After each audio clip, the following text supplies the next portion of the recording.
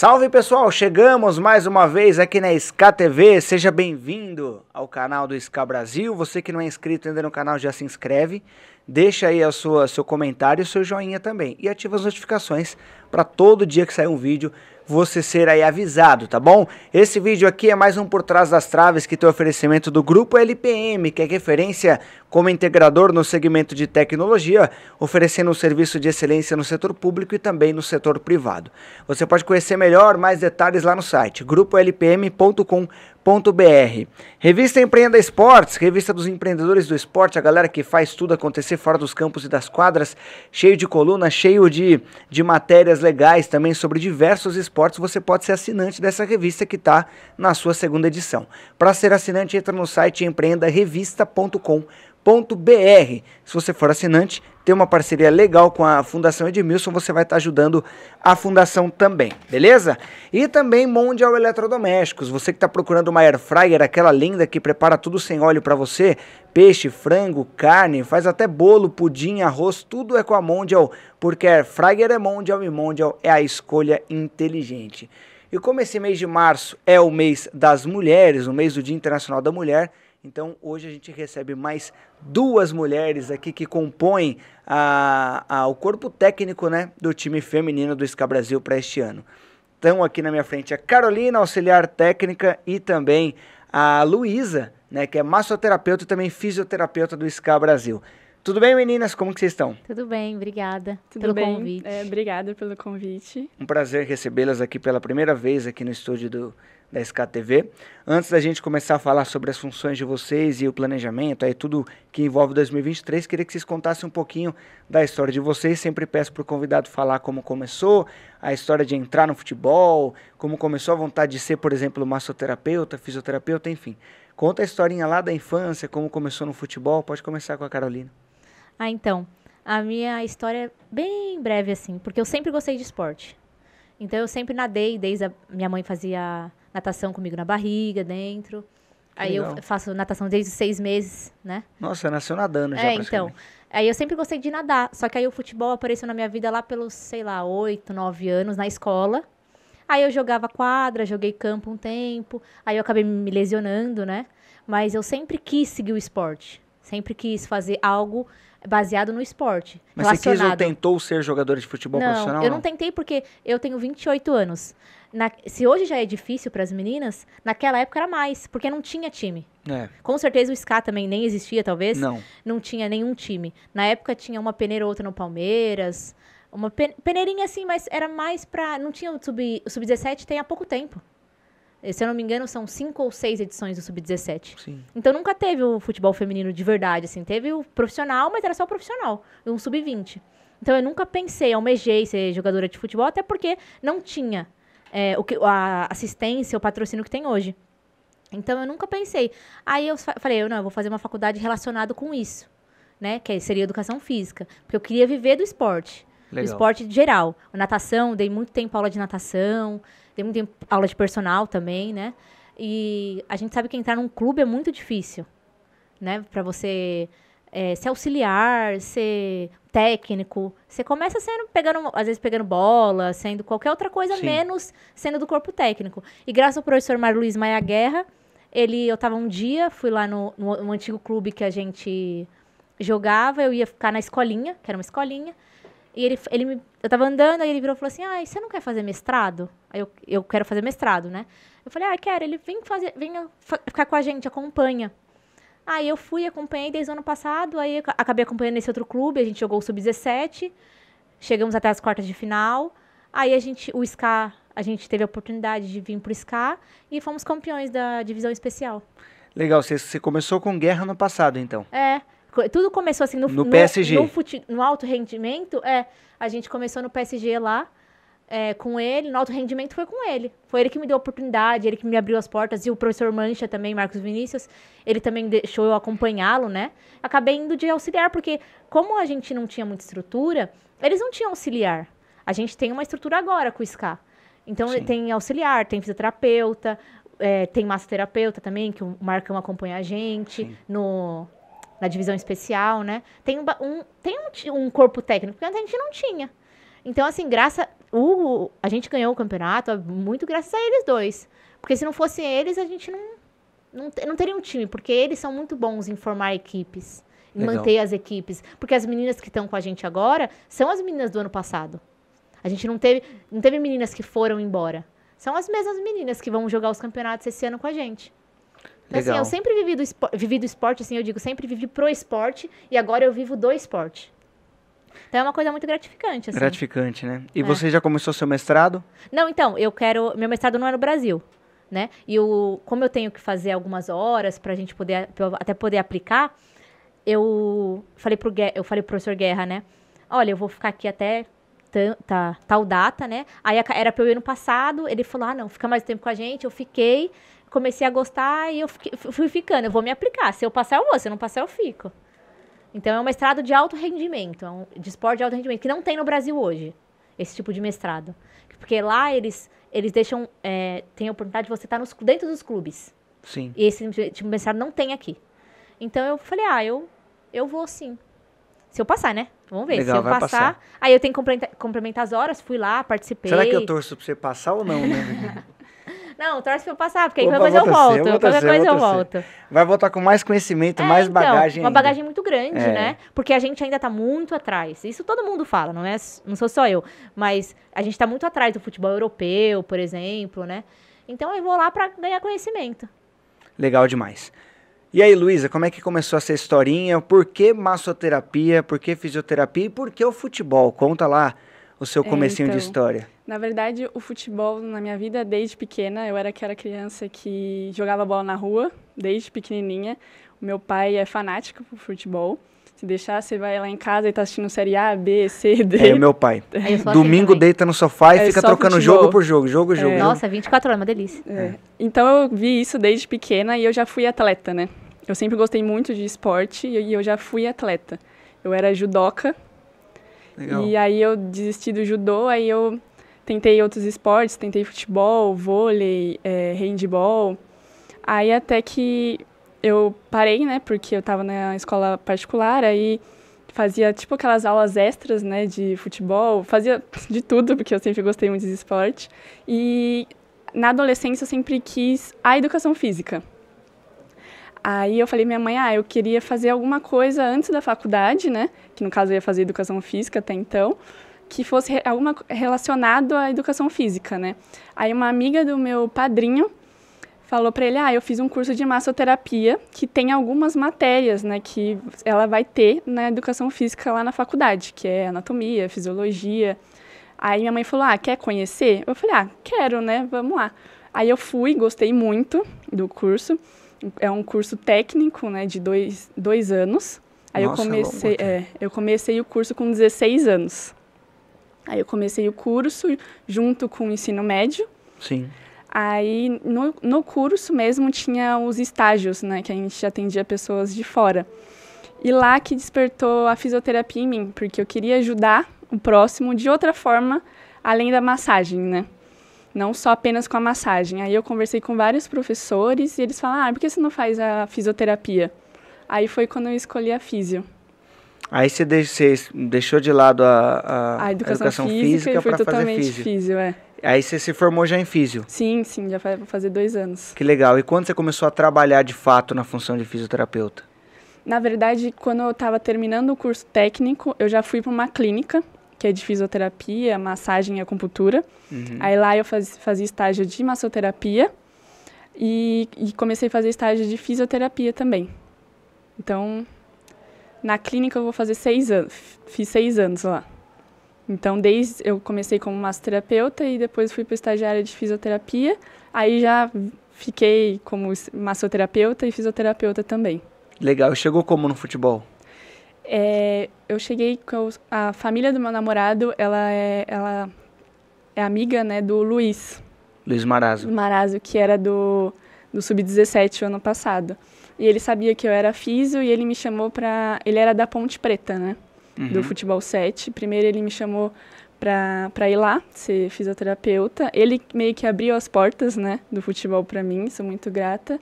Aí, com isso, como eu já fazia parte da comissão dele, a gente teve a oportunidade de vir pro SCA. Foi quando a gente começou aqui no Sub-17 do SCA, que foi no ano passado. Legal demais. Então você já estava nessa campanha também da, do, do título paulista, né? Não, então, aí a gente Não? só. Não.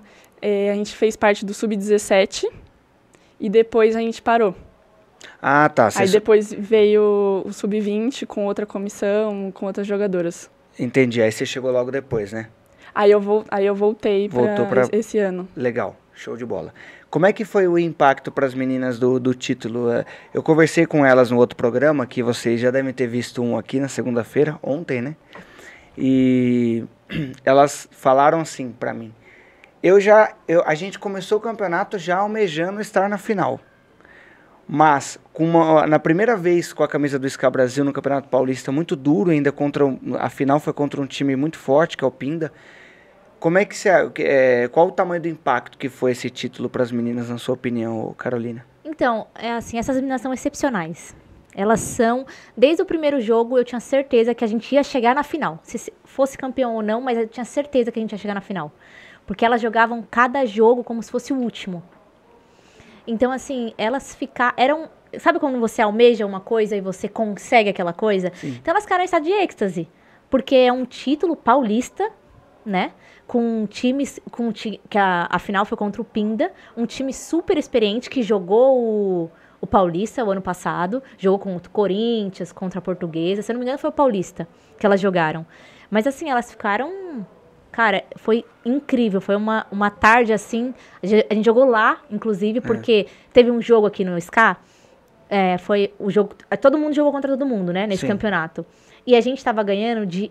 Tava ganhando, não, desculpa, tá? Tava um a um no jogo é, contra o PIN daqui. A Se gente- ganhasse, jogava aqui a final. Exato. Tava um a um. No último segundo, a gente tomou o gol. Então a final seria decidida lá porque eles tinham mais pontos que a gente. Sim. Aí a gente falou: não, a final vai ser lá tranquilo. A gente vai com a mentalidade pra ganhar lá. E eu, toda, toda a torcida, a gente tinha oito meninas torcendo pra gente. Literalmente, que eram as meninas do Sub-17 Sim. que são. A gente, todo mundo é muito amiga, né? E, cara, as oito meninas fizeram mais barulho do que todo o estádio. Daquele estádio inteiro. Então, assim, as meninas jogaram muito. Tipo, cada bola, cada dividida, elas sabiam o que estavam fazendo. A gente tomou o gol no primeiro tempo. A gente foi buscar o empate. E os- o título pelos pênaltis foi pra consagrar, assim, sabe? Foi muito emocionante. Legal Foi demais. incrível, cara. Tem, tem que viver de novo isso agora para você viver Tem, também, né, pra mim tá junto, né? Tem, Você com tá certeza. junto. Fala pra mim, como que é a rotina da, da, da massoterapeuta na, na- dentro do- dos treinos das meninas, no dia dos jogos, como que funciona a sua rotina? Você trabalha mais antes, é, o trabalho, musculatura delas antes do treino, após o treino, quando elas te, te buscam mais? Como Na verdade, é sempre, é sempre antes, né? Antes. Pra dar aquela, aquela liberada na musculatura, né? Na tensão Uhum. muscular. E depois também, né? Porque aí vai estar bem desgastada, né? Elas vão estar bem desgastadas após jogo. Então a gente, eu acabo trabalhando antes e depois também. Legal, você já pegou alguma menina lesionada assim, que tivesse que tratar como fisioterapeuta não? Já, Já? Já, Aqui sim. Já. É porque, na verdade, eu sou as duas, né? Eu, É, sou, então. eu sou a, a massoterapeuta e a fisioterapeuta. Sim. Então, já peguei sim o ano passado. E, e esse ano também, né? Agora. É, serão algumas meninas, desculpa, mas algumas meninas elas fizeram um campeonato muito intenso.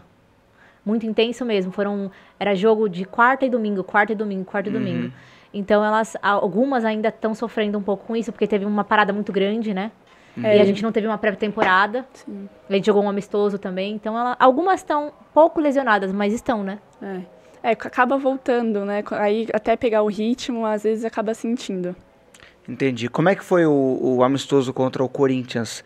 Foi importante, né? Porque pega um time grande, um time que no profissional é um dos mais fortes do Brasil, talvez o mais forte há alguns anos já.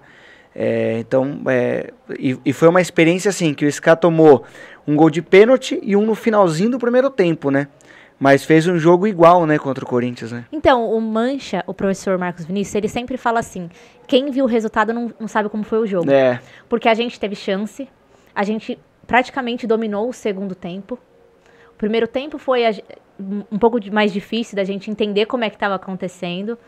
Elas foi a última bola do último minuto, do último segundo, que elas fizeram um gol, né? E a gente acabou tomando um gol de pênalti no segundo. Mas foi é, é bom pro- porque é um aprendizado. Elas têm muito mais é, jogos durante o ano. É, esse foi Né? o nosso primeiro. E esse foi o primeiro É. jogo nosso durante o é, desse ano, né? Então, Uhum. assim, pra gente foi excelente. A gente viu como elas jogaram de igual pra igual. É assim, dá pra buscar um título E a gente não tinha voltado nos nem próximos a, meses. a treinar um É, mês exatamente. completo, né? Não tem um mês completo que a gente treinou. voltado. É. Então, mas foi uma experiência muito boa. Sim, Eu acho que positivo, todo né? amistoso com um time muito mais experiente que o nosso, que tem mais rodagem também, que tem mais jogos no ano do que a gente, válido. É muito válido, mas a gente tá pra brigar. Legal. Esse jogo, inclusive, tem um vídeo aqui no canal, tá? Pra vocês acompanharem. aí. Entrevista com algumas jogadoras, o professor Manchas que falou também. Então tem um vídeo aí no canal legal sobre esse amistoso aí, o primeiro da temporada contra o Corinthians lá no CT do Corinthians, tá bom? Como que é trabalhar com, com o professor Guerra pra você? É difícil. Ele É? não é uma pessoa fácil, mas assim, Em ele que sentido? ele porque ele é muito exigente. Ele é muito exigente e ele não é só exigente como ele mostra excelência no trabalho. Então ele faz as coisas acontecerem. Quando eu falei pra você que graças a eles que elas, essas meninas eh, competiram pelo SCA, porque eles correram atrás. Ele, eu cito ele e o Mancha. Mas assim, eu amo trabalhar com ele, porque ele é uma pessoa que ele sempre vai te eh, forçar você a estudar. Ele sempre te manda muito conteúdo, ele tira dúvida de tudo. Ele tem um jeitinho dele, que é um jeitinho só dele. Mas assim, ele tá lá, ele fala, eu tô aqui pra tudo. E ele fala, quem tá comigo vai até o final. E quem tava com ele foi até o final e foi campeão. Legal demais. Ô Luísa, o que, que é necessário fazer para evitar lesões, assim, além da, é, da, da condição física, né, além da preparação física, a sua parte? O que, que geralmente você faz para tentar que as meninas não se lesionem, principalmente muscular? É, geralmente, é, todo treino, né? Antes do treino, tem. A primeira coisa é a minha parte, né? Que a gente faz uma ativação, uma. É, prevenção, é a prevenção mesmo de lesão, que a gente faz alguns exercícios no campo mesmo com as meninas. E também tem a, a liberação também, né? Na massagem, para soltar bem a musculatura, né? Para não acabar forçando demais, né? Pela sua experiência acadêmica e clínica também, já que você não trabalhou com futebol masculino ainda, né? Não, só com feminino. Qual que tem muita diferença é, do corpo da- da- das meninas e dos meninos para trabalhar, você acha? Muscular? Ah, sim, tem. É, Tem. muita diferença. Tem diferença, sim. É mais difícil trabalhar o corpo feminino ou masculino? É mais trabalhoso o masculino, né? É, Masculino é mais trabalhoso, mas, mas tá ali também. Não tem tanta diferença. É mais de musculatura, mas não tem muita diferença, não. legal. Ô Carolina, o que que nessa temporada você espera que seja o sucesso na sua carreira? Lá no final de 2023 você quer olhar para trás e ver o quê? A gente é campeão, É, óbvio. Sim, buscar o título, né? Eu acho que todo atleta e todo profissional é técnico, fisioterapeuta, que compõe um corpo técnico, quer ser campeão. A gente quer buscar, quer competir de igual para igual. Não é porque a gente nunca jogou um campeonato com o SCA, de, uma, de um paulista, por exemplo, que a gente não quer ser campeão. Eu acho que buscar o título e buscar o melhor resultado dentro de um campeonato. Porque para quem nunca jogou, sei lá, chegar numa semifinal é excelente, entendeu? Mas a gente sempre busca o título. Eu acho que o título é o que coroa todo o trabalho, todo o esforço, tudo que elas passaram, tudo que elas passam diariamente, porque não é fácil. A mulher, ela menstrua, ela tem cólica. Né? Então, assim, o homem não tem isso. Então, para elas, às vezes, todo mundo tá. Tem metade do time menstruado. Né? Com cólica, com dor. Cara, é muito, muda muito isso. Então, assim, elas correm muito atrás, elas buscam muito, elas treinam muito. A gente treina, tem muitos vídeos do professor Guerra na, no YouTube, da, da gente na chuva. Não, tem, não existe chuva pra gente, não existe nada. A não ser que alague tudo, a gente não consiga treinar. Porque tem, a gente treina em chuva, treina sol, treina terremoto, qualquer hora a gente vai treinar. E elas estão lá. Elas sempre estão lá. Elas vão em metrô, ônibus, sei lá quantas condições elas pegam, mas elas estão lá treinando por um objetivo que é o título, né? Boa, é isso. Deixa eu passar um recado pra galera, ó, falar do Futebari Açaí, tá vendo esse lanche aqui? É o Big Ska Brasil. Futebari Açaí fica aqui no centro de Santana de Parnaíba, se você quiser pode colar lá, chama sua galera, faz um happy hour pra você comer o seu lanche, ou você pode pedir no delivery também. Entra lá no Instagram, arroba Futebari Açaí, tem todos os contatos pra você pedir o lanche na sua casa, se você for aqui da região. E o Big Ska Brasil, que é o lanche especial aqui do FC Ska Brasil, ajuda a Fundação Edmilson. Se você pedir um lanche desse, cada um desse que sai da cozinha, um real vem para a Fundação. Então você pode ajudar a fundação também pedindo o Big Scar Brasil, tá bom? Falar também da Securicard, com menos de 2,70 por dia você tem acesso ao maior programa de saúde do Brasil. Não só você, como toda a sua família, até o seu sogro e sua sogra. É isso mesmo. E esse programa te dá desconto de até 80% em consultas e exames médicos. Com a mesma assinatura, você também pode acessar o aplicativo que te dá desconto e cashback em mais de 25 mil estabelecimentos espalhados pelo Brasil afora. Muito legal, né? Quer conhecer melhor? Arroba seu Securicard lá no Instagram, tá bom? Também falar da agência Moditech, para você que está procurando aí soluções em marketing digital, social media, funil de vendas, podcasts e muito mais. A seleção da Moditech está preparada para posicionar o seu negócio. Acesse as redes sociais da Moditech lá em arroba agência Moditech para saber mais detalhes, tá bom? E também a Impacto Prime, você já conhece? A Impacto Prime é o maior centro automotivo do Brasil, com 97 lojas espalhadas aí pelo país. Ano passado vendeu mais de 1 milhão e 200 mil pneus. Dirija com segurança e economize com a Impacto Prime. Só maior vende pelo menor preço. Ligue e agende lá a sua visita. 0800 100 7575. 0800 100 7575. Pensou pneus, pensou impacto. Ô Carolina, é, no futebol feminino jogado no Brasil atualmente, na situação que está, você acha que atrai mais garotas a praticar o futebol? Porque algum tempo atrás, é, por conta do amadorismo, da, da dificuldade que foi de profissionalizar o futebol, de expandir no Brasil, talvez as meninas ficassem mais inimidas em praticar esse esporte. Porque vou viver de futebol? Não sei. Agora o sonho parece que aumentou. Você acha que atrai mais mulheres a jogar, a praticar o esporte? Eu acho que eu acredito que sim, porque o futebol, ele tá, o futebol feminino, ele tá crescendo muito. Muito. Então, existem mais categorias, existem mais gente querendo investir, acreditando no futebol feminino.